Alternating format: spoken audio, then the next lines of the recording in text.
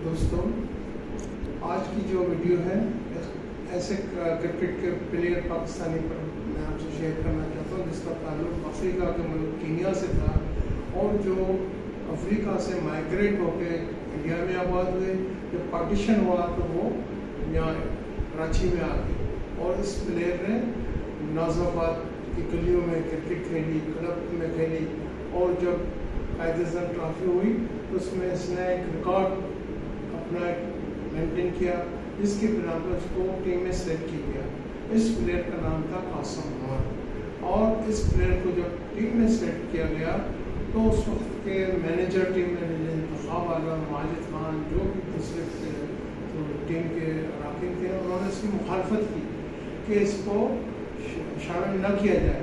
क्योंकि ये कराची का मकरानी है या अंदरूनी सिंध का सिंधी है, लेकिन इमरान खान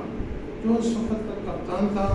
उसने अपने ईमा पर अपनी कोशिशों से और इसकी जो कुर्बानियाँ थी इंडियन ट्रॉफी में एक अच्छा स्कोर किया, जिसकी बुनियाद पर इसको टीम ने सिलेक्ट किया।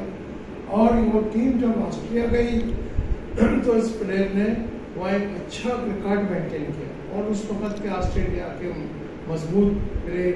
जो बॉलर उस वक्त जो थे डेनिस और जो दीगर जो भी थे, ऑस्ट्रेलिया उस वक्त नाम और मज़बूत टीम थी क्रिकेट उन बॉलरों का मुकाबला किया